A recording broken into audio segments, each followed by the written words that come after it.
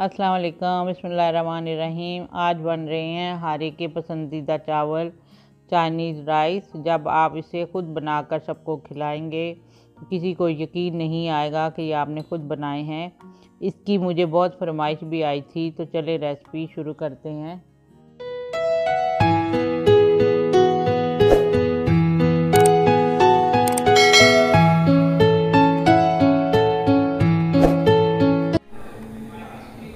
One के जी चावल हैं, हाफ़ के जी चिकन है, जिसको मैंने उबाल के और इसके मैंने रेशे कर लिए हुए हैं। पाँच अदद अंडे हैं। डेढ़ कप आयल है। दरमियाना फूल बंद गोभी का था, जिसको मैंने बरी काट लिया हुआ है। एक पाव शिमला मिर्च है, एक पाव गाजरें हैं, दो कप मटर है। एक गिलास हम यखनी का यूज़ करेंगे। जी, हसब ज़रूरत हम यूज़ करेंगे इसका।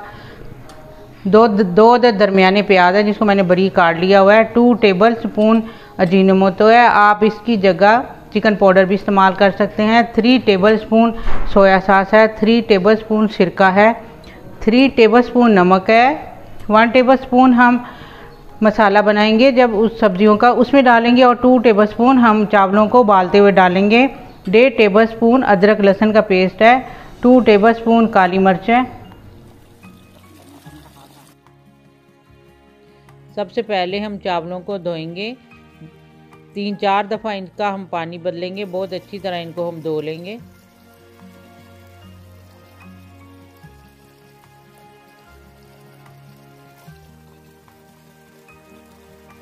जब अच्छी तरह चावल धुल जाएँ तो इसमें पानी डाल के 15-20 मिनट के लिए हम इसको भिगो देंगे।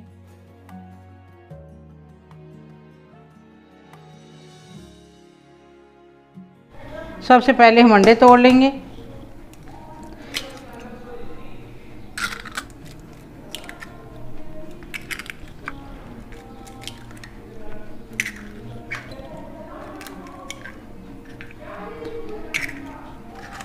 अब इसको अच्छे से फेंट लेंगे अंडे को।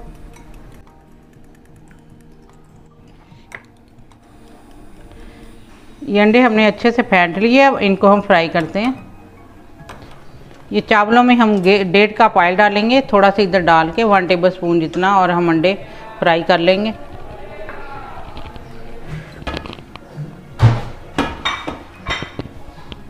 ये आयल गर्म हो जाए, फिर हम इसमें अंडे डालेंगे। ये आयल हमारा गर्म हो चुका है, अब हम इसमें अंडे डाल देंगे।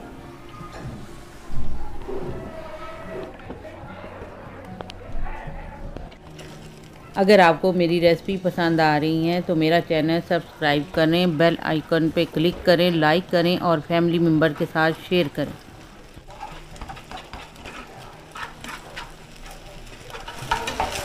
ये अंडे फ्राई हो चुके हैं, इसको अब हम निकाल, उतार रहे हैं।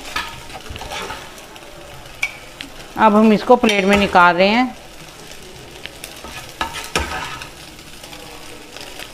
अब हम मसाला तैयार करते हैं इसका ये हमने ऑयल डाल दिया। प्याज डाल देंगे इसको हमने ब्राउन नहीं करना, बस ज़रा से नरम करने हैं हमने प्याज।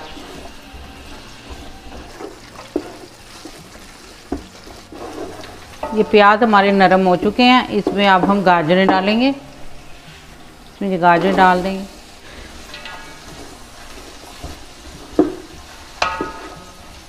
और ये मटर भी डाल दें।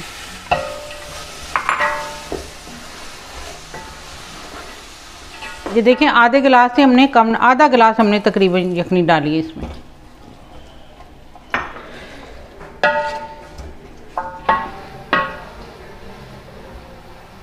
इसको थोड़ी देर के लिए ढक देंगे ताकि मटर और गाजरें थोड़ी सी गल जाए।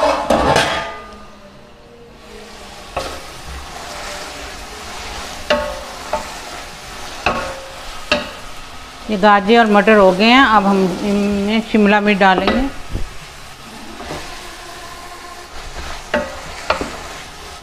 बाकी आधा गिलास हम अब डाल देंगे।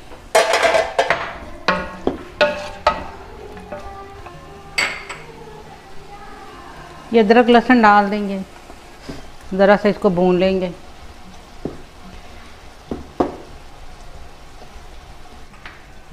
अब ये सिरका है। ये चाइनी नमक, सा नमक, सोया सॉस, काली मिर्च।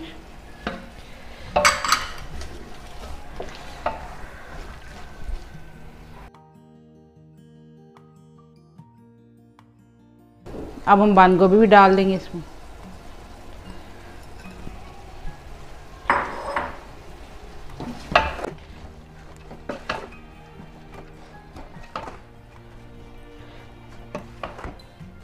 बंद गोभी को हमने इतना नहीं पकाना, क्योंकि ये दम में भी हो जाएगी और ये बहुत बारीक भी कटी हुई थी। ये चिकन भी हम डाल रहे हैं। ये अंडे भी डाल दिए हम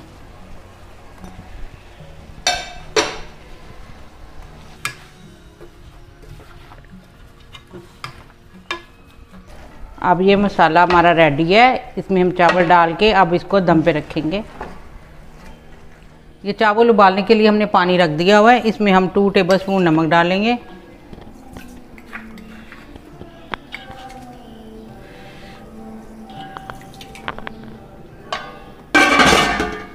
ये पानी हमारा उबल गया है। इसको अब हम इसमें चावल डालेंगे।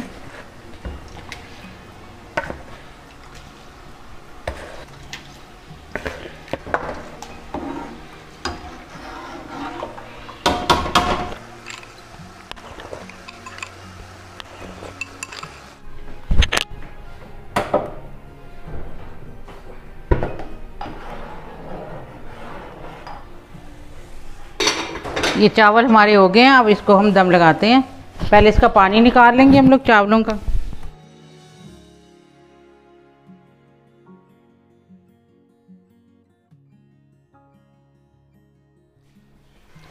अब हम चावलों को दम लगाएँगे।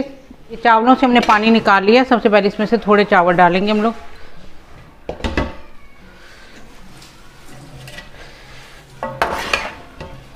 वैसे इसकी तय भी लगा देते हैं, लेकिन मुझे ऐसे ही सही लगता है। ये ऐसे पहले से ही मिक्स हो जाते हैं, फिर बाद में टूटते हैं मिक्स करने वक्त।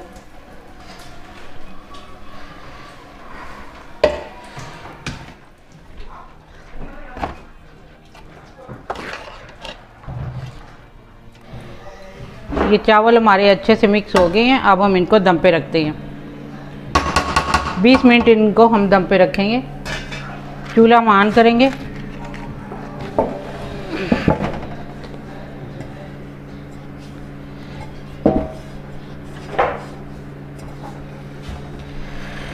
ये चावलों के दाम आ चुका है। अब हम इसे डिश में निकालते हैं।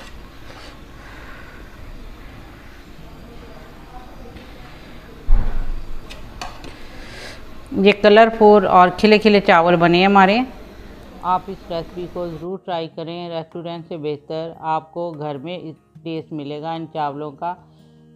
जब आप बनाएँ तो आप मुझे कमेंट करके ज़रूर बताएँ कि कैसे बने। अब अगली रेसिपी के लिए इजाज़त दीजिए। अल्लाह हाफिज़।